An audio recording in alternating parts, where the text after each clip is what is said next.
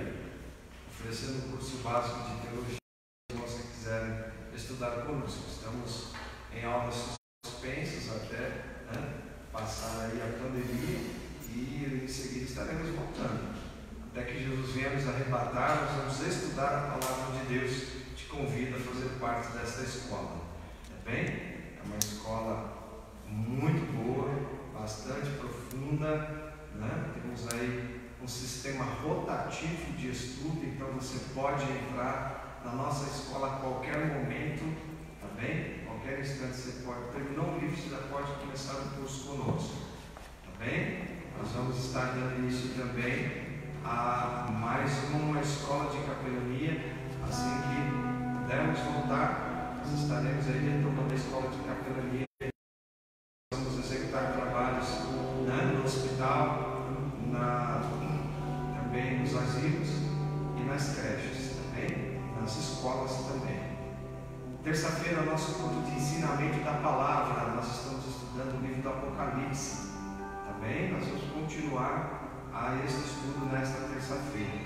Quarta-feira nós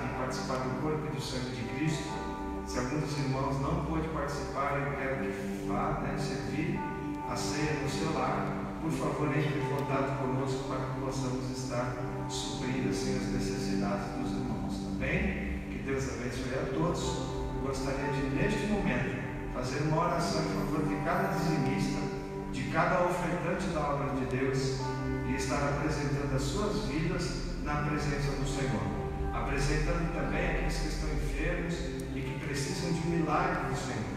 Entre eles, aqueles que estão acometidos do vírus e que estão internados, que o Senhor possa ter misericórdia e resgatá-los, curando-os para a glória de Deus Pai. Também tenho notícias que o nosso pastor, né, nosso antigo pastor lá de Santo André, o pastor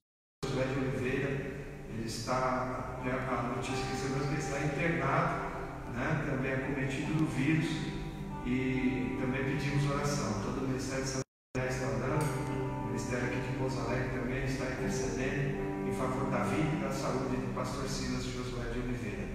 Amém? Vamos orar ao Senhor, que é Francisco vai estar orando e eu digo para você: ore, tenha fé, ore com fé, pois o nosso Deus é o Deus que fez os céus e a terra. Ele tem poder para nos garantir a vitória. Queridos, eu vos cumprimento com a doce paz do Senhor. É uma situação sui generis, né? 40 anos que estamos aí ministrando na labuta, na obra do Senhor. E quantas vezes nós por ver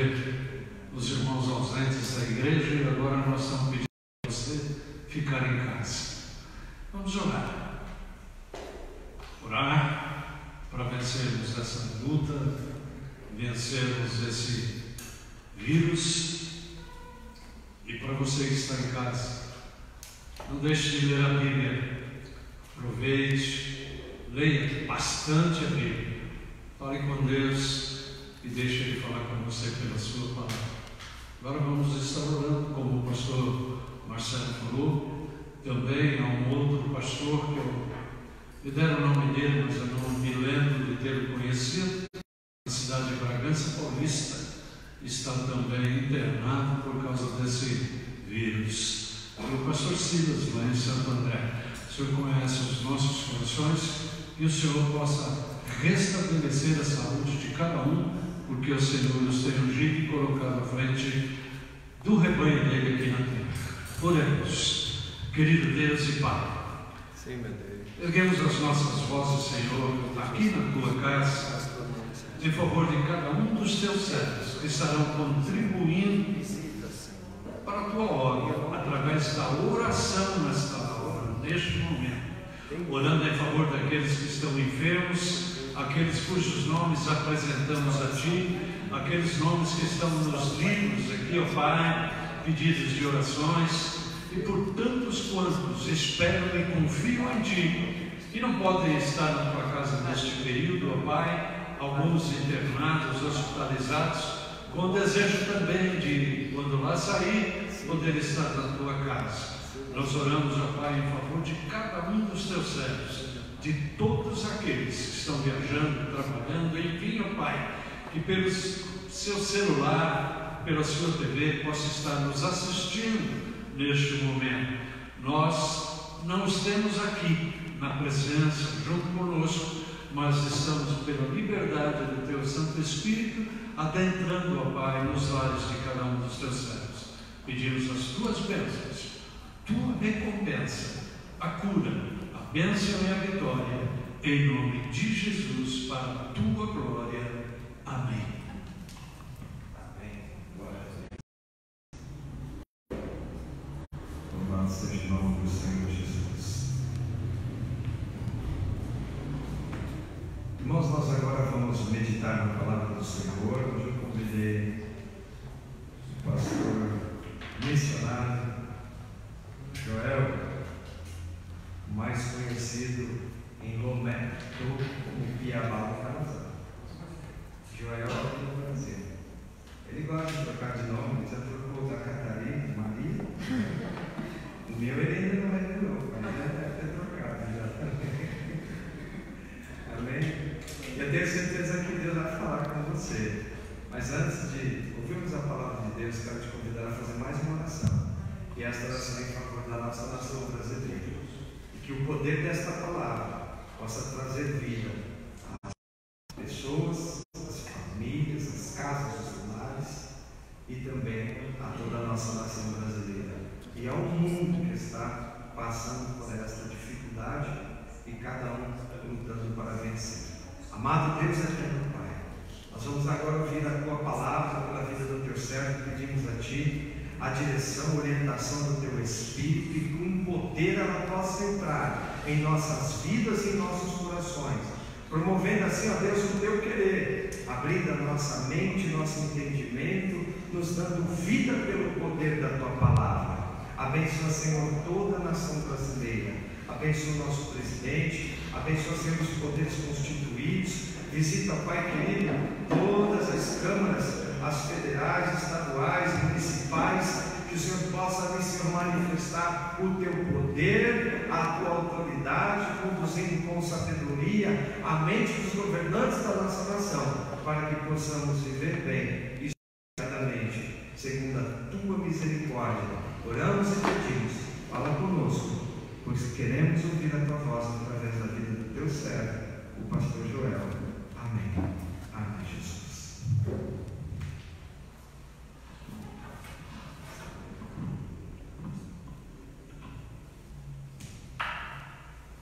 A paz do Senhor, todo mundo. Amém. A paz para vocês que estão em casa. Muita saudade. Hoje estamos aqui uma vez para falar de nosso amigo Jesus. Amém? Eu agradeço essa oportunidade que o pastor presidente, pastor Marcelo me deu de compartilhar com vocês. Esse dia aqui é um dia especial para nós no mundo inteiro, porque Deus é Deus. Não podemos mudar essa, esse poder de Jesus.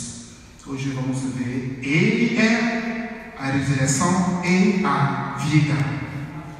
Isso é o tema de minha pregação essa noite. Por que Jesus veio aqui na terra? É uma pergunta que muitas pessoas fazem. Por que Jesus veio aqui na terra? Nós vamos ver por que Jesus veio aqui na terra. Porque ele aceitou entregar sua vida para nós até a ressurreição, até o dia que ele foi elevado no céu. Amém? Deus criou no mundo, Ele criou Adão e depois Ele criou Eva. E depois que Ele criou essas duas pessoas, Ele deu para eles o poder, a autoridade de ter a liderança no mundo. Mas nós podemos ver que Adão e Eva pecaram contra Deus. Eles desobedeceram. Isso mesmo? Essa palavra é muito complicada sempre para mim. A palavra de Deus. Deus deu para eles poder. Mas quando Adão e Eva desobedeceram a voz de Deus, o poder, a autoridade que Deus deu para eles caiu na mão de Satanás. E nesse momento, nós podemos ver que é o Satanás que toma o poder do mundo. Mas, mesmo que Adão e Eva pecaram, Deus nunca deixou de amar o mundo. Amém? Porque Deus dá sempre seu amor para nós. Foi Eva o que foi enganado. Satanás foi lá falou com ela, com ela. Se você, mesmo se você comer esse fruto, vocês não vão morrer. Mas vocês vão ter uma sabedoria como Deus. E ela foi enganada pelo serpente. E depois, Eva conduziu também Adão, ele também pecou. Mas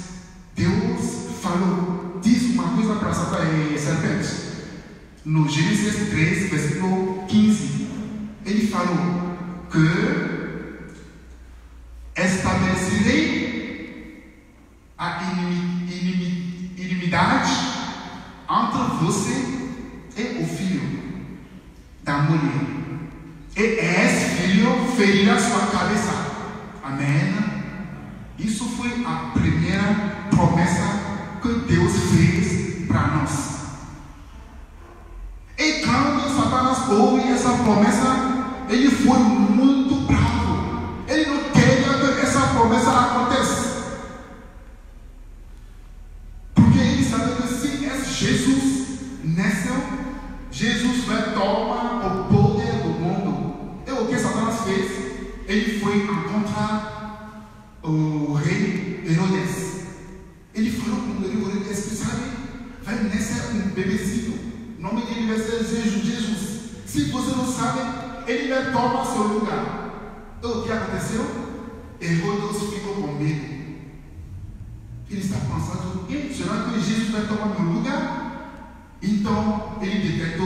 que fala de matar todas as crianças que ser nascido esse, é, essa, esse momento, essa período. E foi isso. Mas Deus é sempre Deus. Deus usou uma mulher. O nome dela é Maria. Amém? O anjo foi até Maria, falou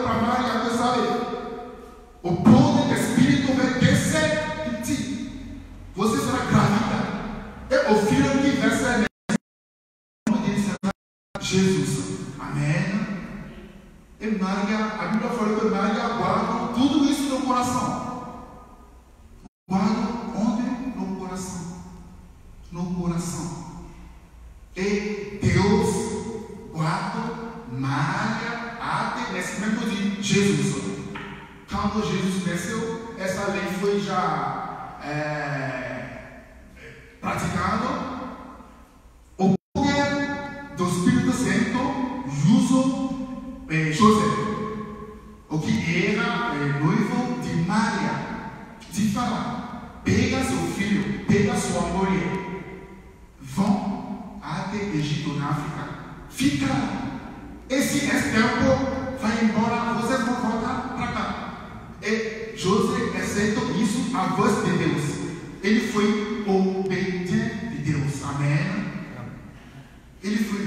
Ficou lá no Egito quase um pouco tempo.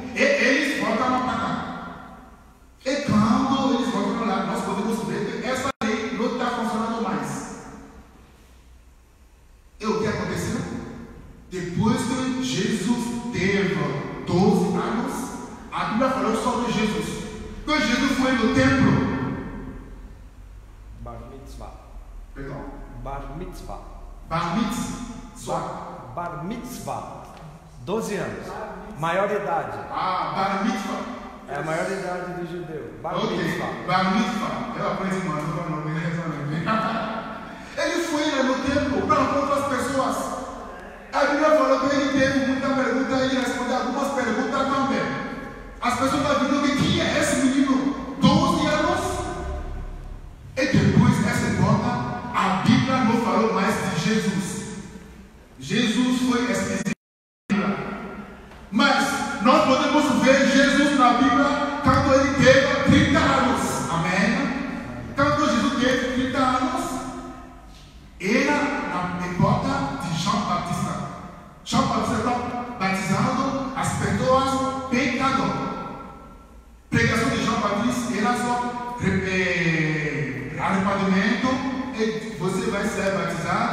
E Deus vai perdoar seu pecado. Isso foi a pregação de João Batista. As pessoas estavam muito estranhas de ver o Filho de, de- de Deus, Jesus. Jesus foi até João Batista. Ele falou, eu também queria ser batizado. João Batista falou, não, eu não sou digno para te, batizar. Mas Deus falou, Jesus falou, deixa o Espírito Santo te usa. Ele falou isso. Ele falou, você pode me batizar, não tem problema. João Batista falou, não, eu não tenho essa autoridade. Mas Jesus aceitou de ser batizado pelo João Batista. Amém? Uma coisa aconteceu lá. Jesus aceitou de ser batizado depois que ele foi levado de tanta água. Uma coisa aconteceu. O céu abre. E quando o céu abre, uma pom- pomba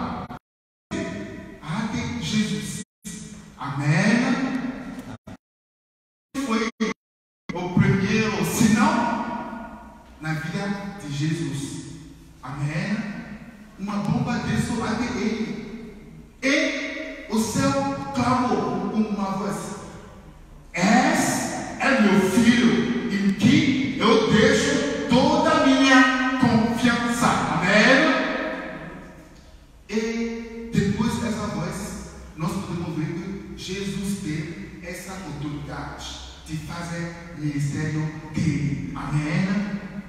que Jesus nasceu, bebê, bebezinho, até 30 anos, Jesus nunca fez nada como milagre. Mas depois que ele foi batizado, ele teve essa autoridade de fazer ministério dele. Primeira coisa que Jesus fez é o quê? Ele foi no deserto.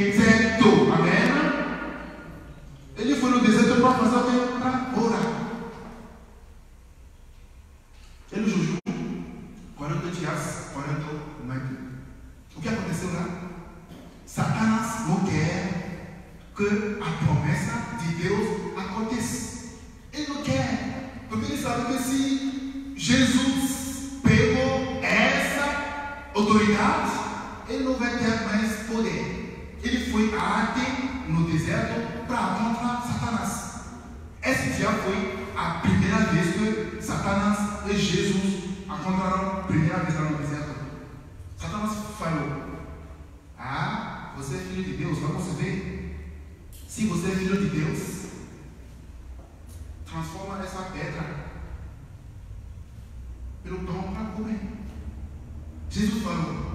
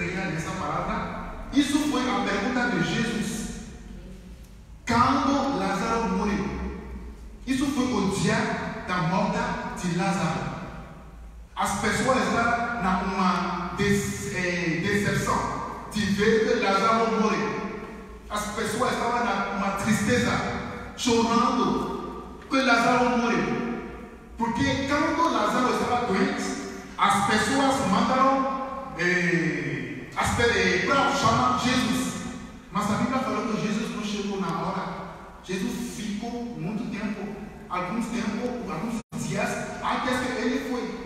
É Entrando Jesus, chegou lá. Maria Marta estava falando: Oh, Senhor, mestre, se você estava aqui, seu amigo querido, nosso irmão, não teria morrer. Ele estava com uma, eh, eh, uma preocupação, falando com uma tristeza. Se você estava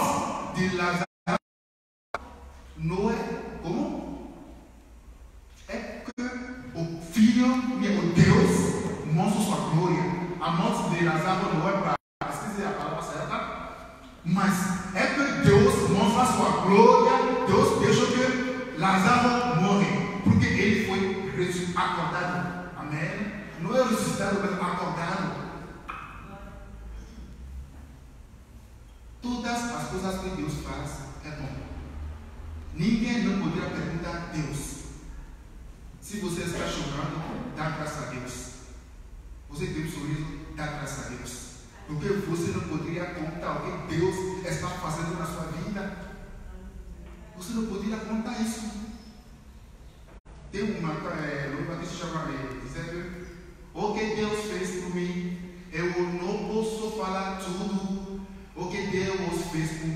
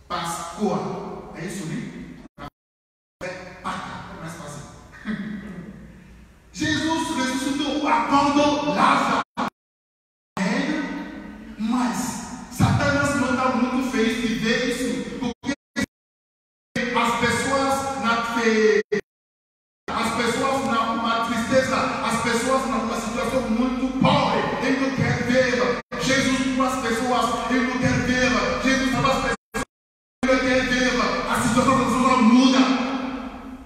Mas cara, ele está vendo isso, ele não está muito feliz de ver isso.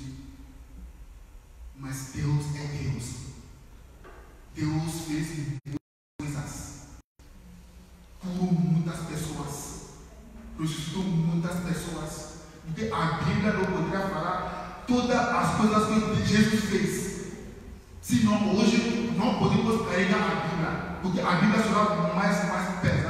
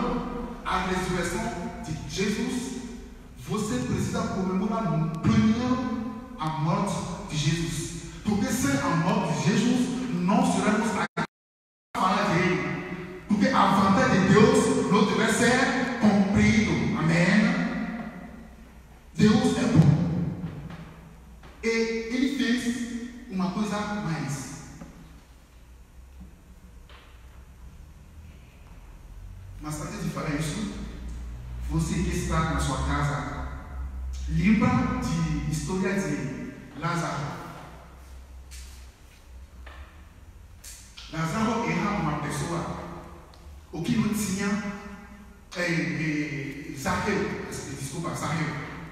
Zaqueu era uma pessoa o que não tinha boa relação com Deus. Não tinha relação boa com Deus. Mas a Bíblia falou que quando Jesus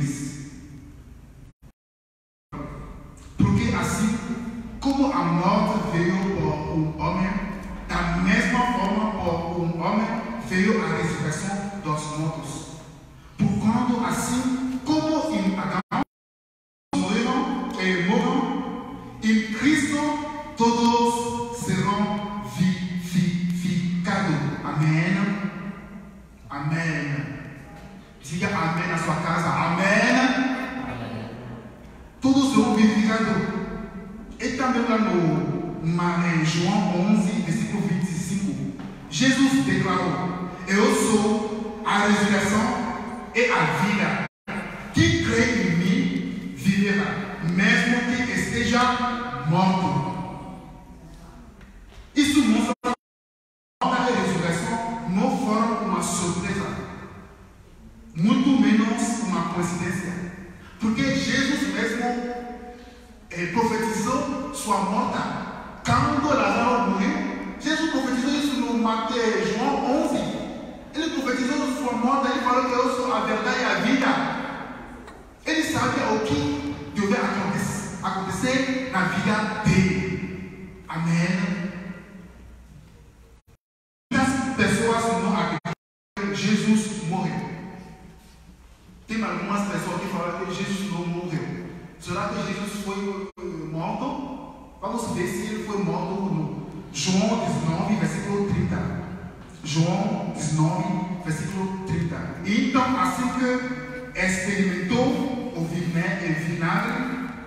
clamou: Jesus, está consumado.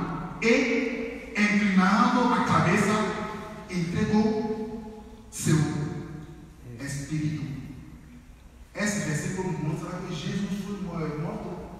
Tem algumas pessoas que falando? que não. Essa eh, história, é eh, esse evento, evento é uma história que não é verdade. Mas o okay, que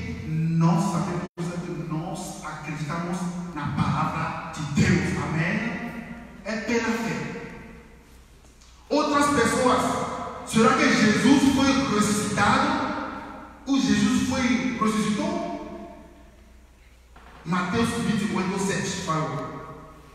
Ide, caminhando depressa e anuncia aos seus discípulos. Ele ressuscitou dentro dos mundos. e está seguindo adiante de vosso eh, rumo, rumo a Galileia. Lá o vereis. a atendai Deuteronômio 15, versículo 17.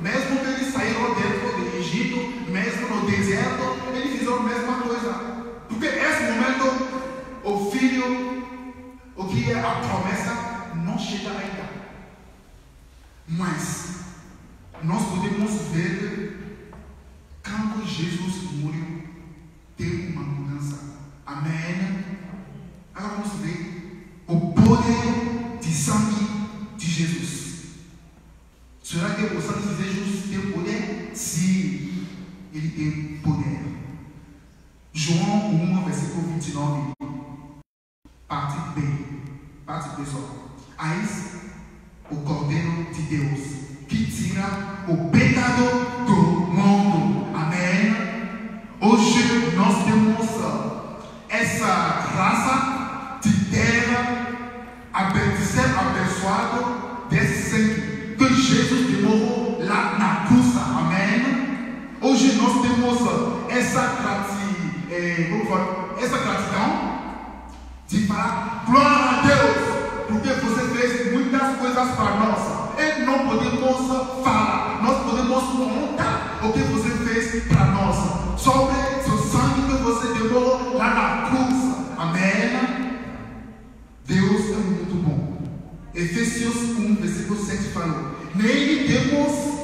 aceitação, o perdão dos nossos pecados pelo seu sangue, seguindo as riquezas da graça de Deus. Da graça de Deus. Você tem perdão pelo sangue de Deus, de Jesus. Você tem as riquezas pelo sangue de Deus. Você tem também a graça pelo sangue de está olhando o que você está vivendo hoje. Não está olhando a sua situação. O que você precisa fazer é de falar: Deus, obrigado para todas as coisas. Mesmo se você está doente, deixa eu te falar: você tem o poder do sangue de Jesus. Esse sangue pode te curar. Se você acredita, você verá a glória de Deus. Isso foi a palavra de Jesus. Quando Marta e Maria gritaram, Jesus falou no João 11, versículo 41. Se você acredita, você verá a glória de Deus. E não podemos, nós podemos ver né, a situação de Maria e Marta mudaram. Quando eles escutaram essa palavra que saiu na boca de Jesus. Se você acredita, você verá a glória de Deus. 192, se você está assim, e também você verá a glória de Deus. Deus vai entrar na sua vida, Ele vai mudar a sua situação.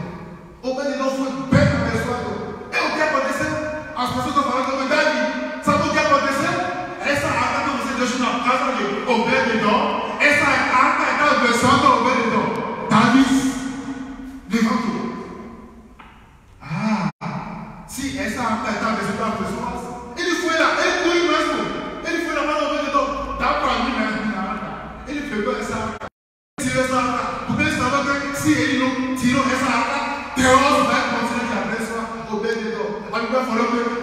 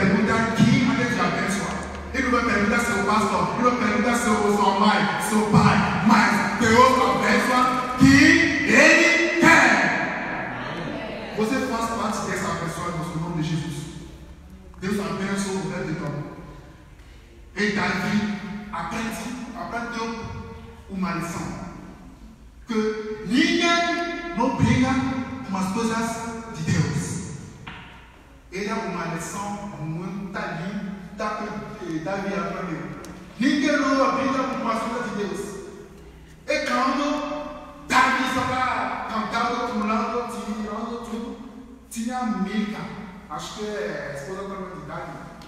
Ele está falando que, oh, você que é um rei, você está pulando assim. E Davi fala você não sabe o que está acontecendo. Essa arca que eu trouxe aqui vai nos abençoar. Amém. Porque Deus é sempre fiel. Vamos ver outro ponto para acabar. Conclusão. Para acabar, vamos ler Atos 1, versículo 10. Atos 1, versículo 10 até 11. E aconteceu que, estando eles com os olhos fixos no céu,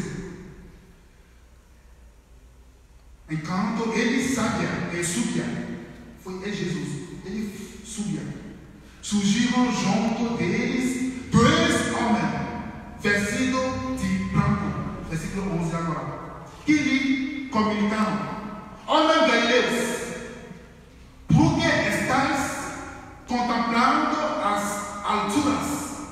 É uma pergunta que eles fizeram para as pessoas de Galileia.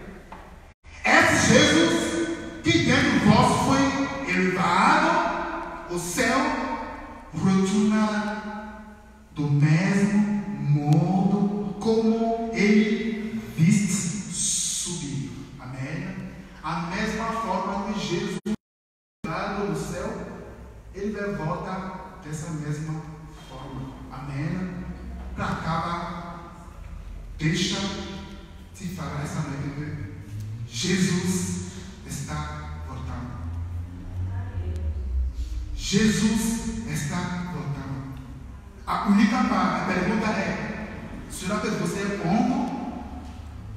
Se Jesus chegou essa noite para você, você irá com ele? Se você viu Jesus apareceu para você essa noite, você dirá: sou pronto para ir contigo? É a única pergunta que eu queria deixar para você. Pensa nisso. Se hoje era fim, será que você vai?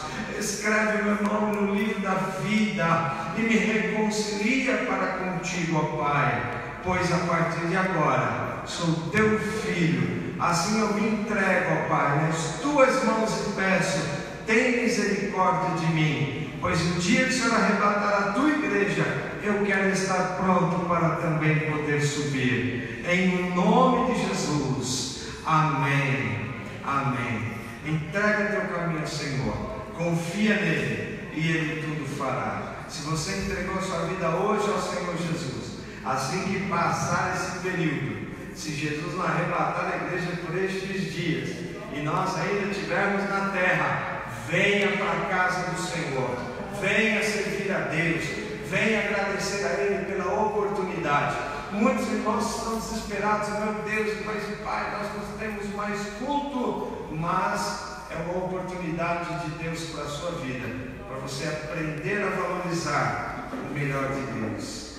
Amém? A casa de Deus, a presença de Deus neste lugar. Irmãos, eu sinto a presença de Deus em casa, no carro, onde eu estou, mas aqui, irmãos, é diferente a presença de Deus, porque aqui está o corpo de Cristo reunido, onde podemos sentir a glória de Deus neste lugar, nascer do Senhor. Hoje pude sentir a presença gloriosa de Deus neste lugar, neste culto da família, e eu te convido, assim que passar esta pandemia, quero ver você aqui na casa do Senhor.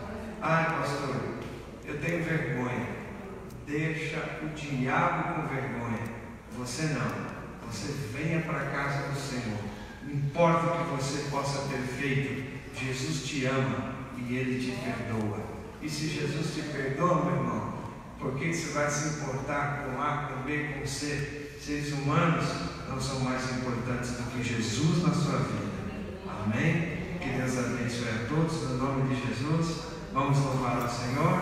Aleluia. Nós vamos louvar ao Senhor Jesus com mais louvor. E depois nós vamos encerrar este culto da família. Aleluia. Aguardem mais um instantinho, estamos terminando. Amém, irmãos? Quão grande é nosso Deus. Aleluia,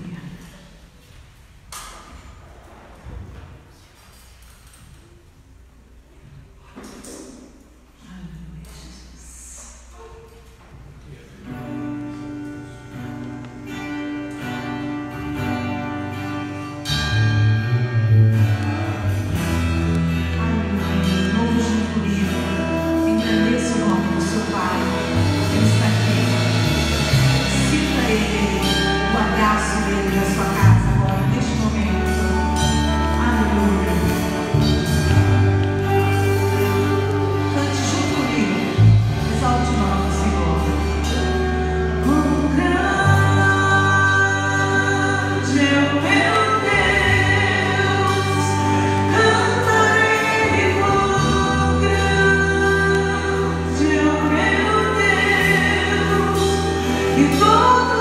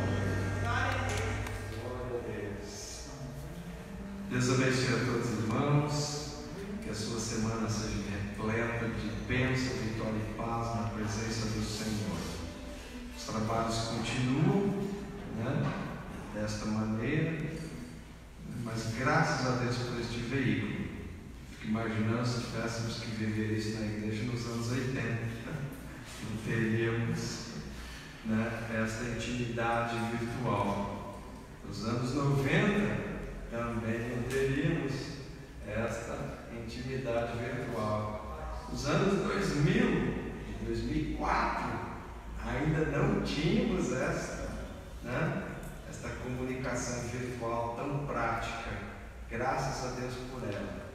Amém? Que Deus abençoe a sua vida, a sua família e que a bênção do Senhor esteja sobre todos. Quero aqui trazer os meus agradecimentos né, pelos irmãos que estão orando, buscando ao Senhor, clamando ao Senhor. Peço e agradeço as orações dos irmãos, né, pela minha vida, pela minha família, por todo o ministério.